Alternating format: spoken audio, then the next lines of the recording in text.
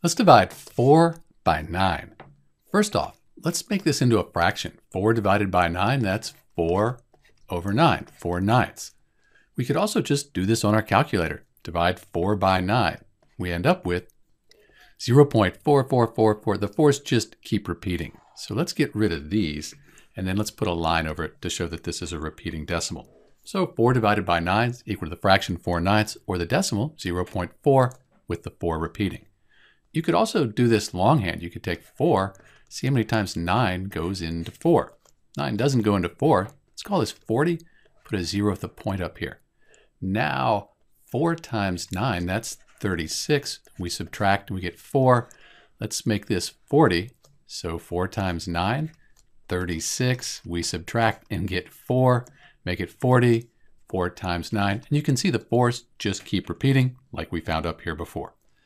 This is Dr. B dividing 4 by 9. You get the fraction 4 ninths or the decimal 0.4 with the 4 repeating. Thanks for watching.